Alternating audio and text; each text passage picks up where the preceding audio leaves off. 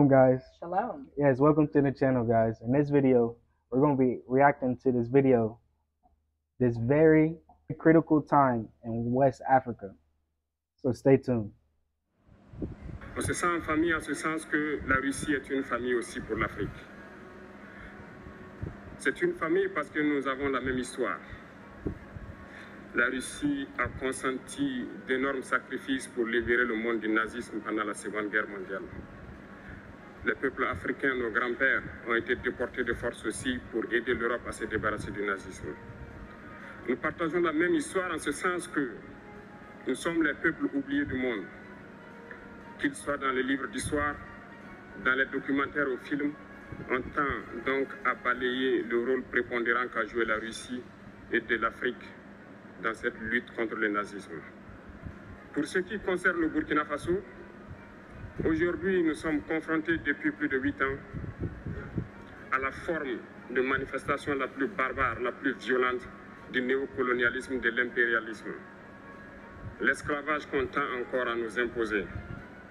Nos dévanciers nous ont bien appris une chose. L'esclave qui n'est pas capable d'assumer sa révolte ne mérite pas que l'on s'apitoie sur son sort. Nous ne nous apitoyons pas sur nos sorts, on ne demande pas que quelqu'un s'apitoie sur notre sort. Le peuple burkinabé a décidé de lutter, de lutter contre l'île terroriste en mesure de relancer son développement.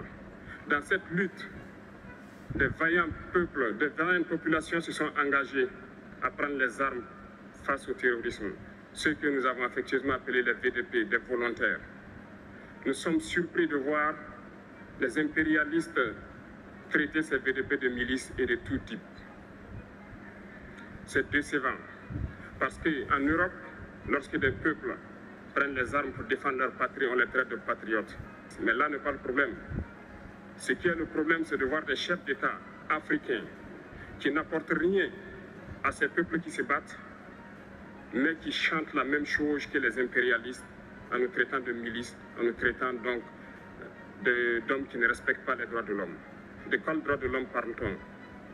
Nous nous offusquons contre cela et c'est honteux. Il faut que nous, chefs d'État africains, nous arrêtons de nous comporter donc en marionnettes qui dansent à chaque fois que les impérialistes tirent sur les ficelles. Hier, le président Vladimir Poutine a annoncé l'envoi de céréales en Afrique. Nous sommes bien contents. Nous lui disons merci pour cela.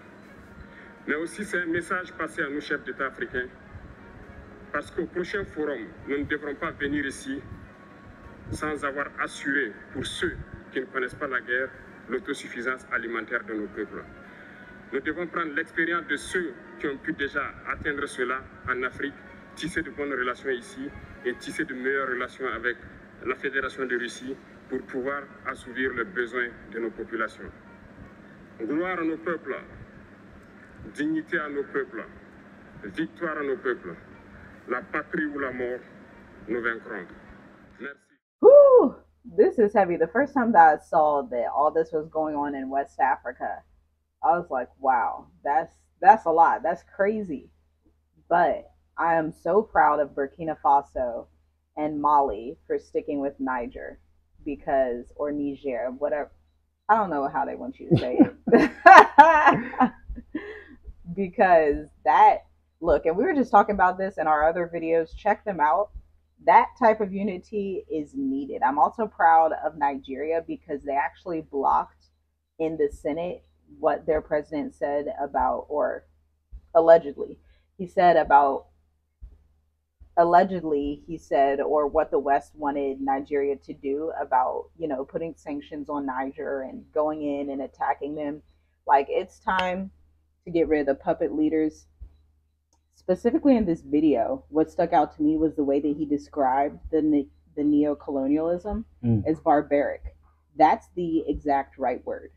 That's the exact stance, perspective, and the reality that Africa is living in, especially West Africa. France has a very, very strong hold on West Africa, and it's time for it to come to an end. I am in agreement 100%. You know, I pray the scriptures over West Africa that the Most High would go before their armies and that He would protect them and save them and stop the oppression because it's time. Yeah, and that's that's all that's that's all our people is wanting. It's just to let us be. Just let us go. I know in the video, um, That's too hard. Too hard. it, it is. It's it's it's hard for that those uh, barbaric people, huh? But I, I know in the video he said, um, you know, the African leaders, the African heads of states, cannot be puppets, because that's that's true. Because a lot of people are very corrupt here. Um, they might not seem seem like it, but they are. So that's the biggest challenge for our African leaders to step up to the plate and unify as Africans, as the people here on the continent. Or else you always be enslaved, modern day slavery to Europe. Really. So, do you have anything to say about, because I know people are going to come in the comments, about Russia? The way he spoke about Russia. Like, we're family. Um, I would say it's I prophesied. I guess I don't, I don't know. That's that's what I have to say. Um, things are are falling in line how it should. Things are really falling in line how it should.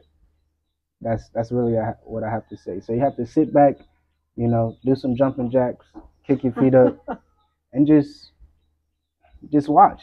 But be ready. Be ready, because you have to look. The main thing is to seek peace individually and make sure you